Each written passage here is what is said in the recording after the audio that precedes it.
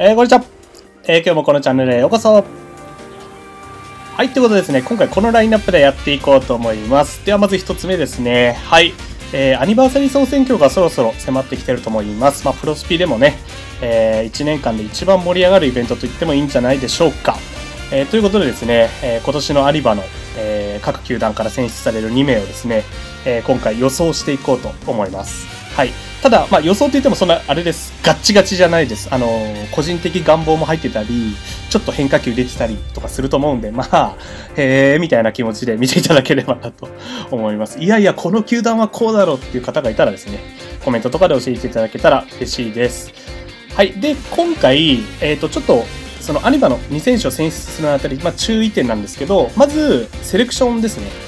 え例年だとセレクション2段あって、まあ、今年は石橋貴樹さんのセレクションのみなんですけど、まあ、セレクションの選手は選べないんで、えー、例年通りだと。石橋貴樹さんのセレクションで選ばれた選手は除外してます。えー、そしてもう一つ、えー、パワープロ派、プロスピ派みたいな感じで、各球団若手の12選手が、えっ、と、なんか、こう、今度ガチャで登場しますっていうのはもう、あらかじめ、え、告知されてるのがあると思うんですけど、えっ、と、それもですね、まあ、セレクションって扱いがわかんないんですけど、とりあえず、選べないかもしれないから、えっ、ー、と、ちょっと今回の選出からは、えー、除外してます。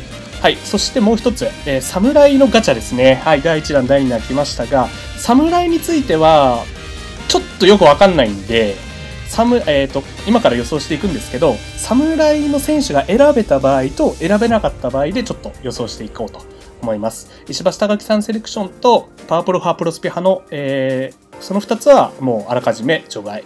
侍は、えー、除外した場合と除外してない場合で、はい、まとめとそういう感じで選んでいきます。あの、本当に気楽な気持ちで見ていただければと思います。はい。では、まずソフトバンクですね。ソフトバンクの予想はこうさせていただきました。うん、まあ、やっぱり、この2人かな。毎年一緒じゃねえかと皆さんがね、もう言ってるんですけど、結局強いんじゃないかなと思ってます。で、もし、侍が選べなかった場合、この2人選べないので、その場合、モイネロ・グラシアル選手と、えこの2選手にしました。あのー、まあ、オリンピックの関係とかコロナの関係でね、出場試合数もちょっと限られてるんですけど、まあ、あのー、いい成績も残してますし、はい、まあ、あのー、さっきも言ったんですけどね、まあ、願望も入ってます、個人的な。はい。続いて、せ、えー、ごめんなさい、ロッテですね。はい、ロッテはこの2選手ですね。えっ、と、マーティン選手と石川選手。はい。えっ、ー、と、まあ、マーティン選手はね、活躍してます。まあ、ちょっとレアード選手も迷ったんですけどね、石川選手はね、もうとにかくプロスピ的に欲しいって方がね、まあ、成績とか、今年ちょっとあまり調子良くないですが、普通にプロスピ的に人気があると思って、この2選手にしました。続いて西武です。西武は森選手とギャレット選手にしてみました。まあね、森選手はちょっと硬い気がするんですけども、一人がね、ちょっと、どうかなっていったところですね。ちょっと読めないですね、もう一人。まあ、ピッチャー他にもね、先発で活躍して、まあ、高橋光成投手とか、えー、今井投手とかも結構いいと思うんですけど、うーん、ここが難しい。はい。はい、続いて楽天ですね。楽天は松井裕樹投手と浅村選手にしてみました。松井投手はね、なんか選ばれそうな気が個人的にはしてます。で、え、ー、と、もし侍の選手が選ばれなかった場合は、えー、松井選手と則本選手にしてみました。まあ、エキサイティングでよく見た2人だと思うんですけど、例年。はい、この2人にしてみました。まあ、他にもね、あの、いい選手いるんですけど、はい。まあ、結構こ、結局こうなるんじゃないかと思ってます。えそして日ハムですね。日ハムはこの2人にしました。上沢投手と杉谷選手。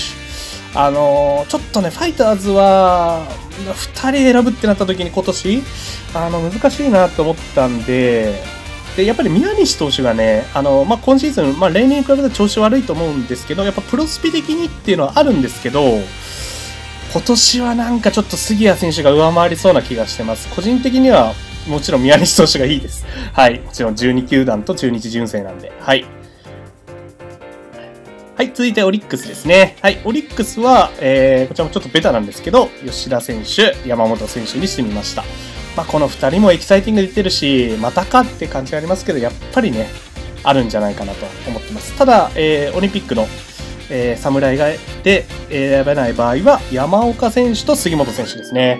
まあちょっとね、杉本選手はね、普通にかなり票を集めそうですよね、今年はね。まあどうなるかなっていうのも、あの、侍選べたとしてもですね、結構難しい、あの、いい争いになるんじゃないかなとは思ってます。はい、ではセリーグ行きましょう。えっ、と、ジャイアンツですね。ジャイアンツはこの2選手にしました。はい、菅野投手と、えー、岡本選手ですね。はい、まあ、岡本選手はね、もうちょっと、えー、個人的にも選ばれてほしいですし、で、まあ、菅野選手がね、アニバで選べるっていうのは結構久々なんじゃないですかね。はい。っていうのもあるんでね、はい。まあ、坂本選手はね、ちょっと選べないんですけど、あの、セレクション出ちゃったんで、まあ、この2人になりそう。まあ、菅野選手も能力落ちるかもしれないですけど、多分、実績もあるんでね、はい。丸選手とかももしかしたらあるかもしれません。セレクションはカープで出てるんで、えー、去年のルールだとジャイアンツでは出れると。はい、続いて阪神ですね。阪神はこの2選手にしました。まあ、照明選手はもう硬いでしょう。ここはもう間違いなく硬い。ちょっとね、もう1人すごく迷いました。あと2人目。えー、ちょっと藤浪投手にしてみました。はい。ちょっとね、ピッチャー陣でもね、かなり、えー、先発、まあ、青柳選手とか、えー、まあ、スワレス選手もいいですし、まあ、野手でもね、あのー、この外国人選手とか、マルテ選手とかサンズ選手もいいんですけど、ちょっとここは藤浪選手にこじや、えー、予想してみました。はい、続いて、えっ、ー、と、自分の好きなドラゴンズですね。ドラゴンズはこの2選手ですね。えー、ビシエロ選手と福選手、福同士ですね。ビッシーはね、多分硬い。まあ、あの、今年、まあ、今年に限った話じゃないかもしれないですけど、ね、まさに古軍奮闘と。まあまあまあ、皆さん頑張ってるんですけどね。はい。まあ、数字だけ見たらそういう状態になってるんで、はい。えー、なんかね、大島選手とビシビッシーのチームだとかね、ちょっと周りの方に言われてるんですけど、まあ、それは置いといて。はい。で、福投手は、ちょっとですね、あのー、プロスピ的に選ばれそうかな思ってます。はい。あの、やっぱツーシームがついたことで、C2 どうなるかわかんないですけど、こう、票を集めるんじゃないかなと、個人的には思ってます。はい。続いて、DNA ですね。DNA この2選手にしてみました。はい。外選手とオースティン選手ですね。はい。両外国人ということで、えー、っと、まあ、オースティン選手は硬い。で、個人的にもめっちゃ欲しい極みにできるんで、まあ、ワンチャンアーティストも、個人的にはもう、あの、アーティストだと思ってます、弾道が。うん。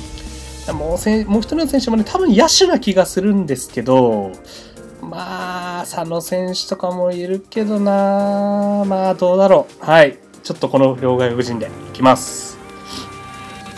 はい、続いてカープですね。はい、カープは、えー、こんな感じですね、2名。えー、鈴木誠也選手と坂倉選手にしてみました。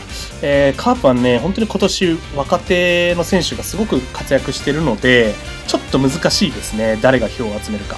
で、もし、侍ですね、が選べなかった場合、鈴木誠也選手選べないので、その場合は、坂倉選手とコルニエル投手にしてみました。まあ、コルニエル投手ね、あのー、本当に今年、まあ、ブレイクしてると言ってもいいんじゃないでしょうか。いい成績も収めてますし。まあ、小園選手とかもいるんですけど、なん、なんか坂倉選手の方がちょっと票を集めそうかなっていう、個人的にはしてます。はい。最後、ヤクルトですね。はい。ヤクルトはこの2人にしました。村上選手と塩見選手。はい。えー、と、これもね、えー、まあ、村上選手は言うまでもないですが、まあ、塩見選手今年ね、えー、一気に、え成績も上げてですね、活躍してます。はい。えー、侍が選べなかった場合は、えー、小川選手と塩見選手にしました。その、侍が選べなかった時、もう一人誰になるんだろうってね、まあ、ちょっといろいろ候補はいるんですけど、まあ、決定打にちょっと個人的に選べなかったんで、だったら、まあ、シリーズ1だったら全道地が狙える小川選手かなとか思ってます。はい。あのー、外国人選手とかもね、非常にいい働きしてるんで、その辺が選ばれてもおかしくないかとも思うんですけど、まあ、他にももちろんいるんですけどね。はい。ということで、予想をこんな風にしてみました。はい、といったところですね、えっ、ー、と、どうですかね。あのー、ちょっと、実際にアニバの総選挙があって、えー、総選挙が終わったら実際答え合わせをしてみようと思います。半分当たってるかな？半分当てたいですよね。あんまり自信ないです。はい。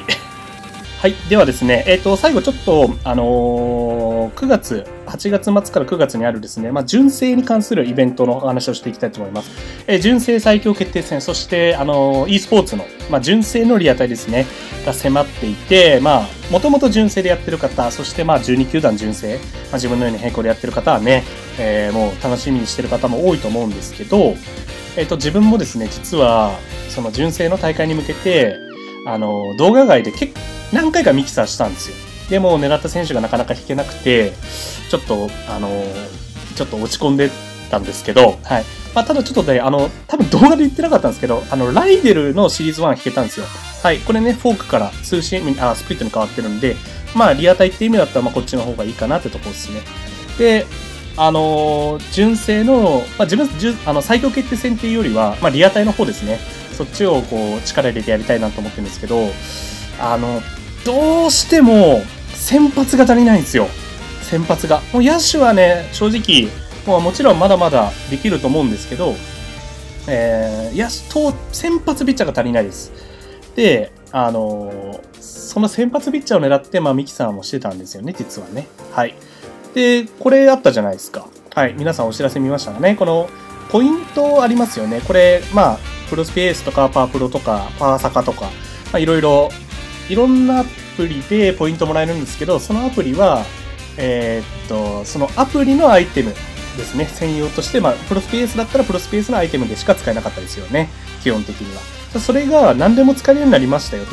ああ、そうなんだと思ってですね、ちょっと自分、あの、ポイントクラブ見たら、なんか GS と交換できたんですよ。で、自分本当はですね、T シャツため、T シャツを、と交換するためにですね、あの、貯めてたんですけど、ちょっともう、もういいやと思って、ちょっと投げやりでやってみました。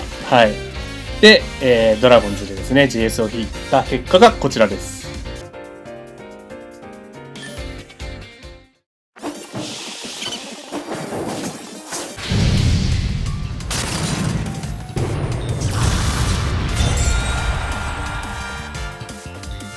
はい、ってことでいかがでしたでしょうか？いや、やっと引けましたね。ちょっとあの、新之助ですね、今シーズン A ランクが出てないんですけど、一応去年当てた A ランクが3枚あって、まあ、調査までできます。で、まあ、通信部もついてるので、まあ、あのー、そこそこはやれると思うのでね、あの、超高速フェードだと。はい。えー、これでね、先発陣補強できたんですけど、なんですけど、あとワンピースですね。もう一人欲しいんですけど、それはですね、もう自分の TS 第5弾にかけてます。あるある投手をずっと待ってます。で、まあ、ドラゴンズですね、TS 第4弾まで来てるんですけど、野手3名、投手1人となってるんで、まあ、次ピッチャーだと思うんですよ、TS 第5弾ね。で、それがまあ、えー、純正のリアタイの大会の前に来ると思ってます。日程的にね。うん、ギリギリ間に合うかな。うん、間に合うと思ってます。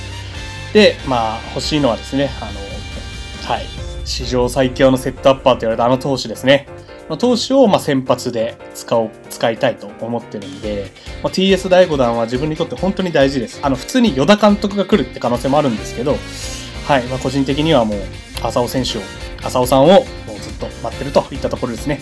まあ、これでもし浅尾さんが来たら、まあ、自分ランキングを走って取って、えー、まあ、純正ね、えー、大会に向けてですね、まあ、やれることはできたといった状況になるので、また皆さんにもね、えー、その様子をお届けできればなと思います。はい。ということで、えー、今回ですね、えー、以上になります。ご視聴ありがとうございました。